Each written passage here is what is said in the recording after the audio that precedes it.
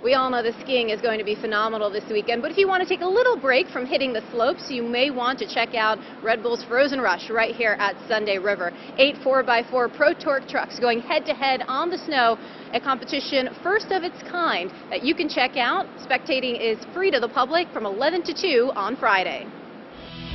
Cold air has allowed for snowmaking after Monday's bout of rain, keeping our trail counts high. Saddleback has 30 trails open for skiing and boarding, and Spruce Mountain still has all the ropes down for this weekend. Camp Camden Snow Bowl and Lost Valley both have between 10 and 15 trails available, and Shawnee Peak has just shy of 30 trails to choose from. In the Mount Washington Valley, King Pine remains 100% open. You'll have around 40 to 45 trails available to you at Loon, Black Mountain, and Attitash, but Cranmore leads the pack this week in New Hampshire and that's with 48 trails open for skiing and boarding. For this week's Ski and Board Report, I'm meteorologist Mallory Brooke.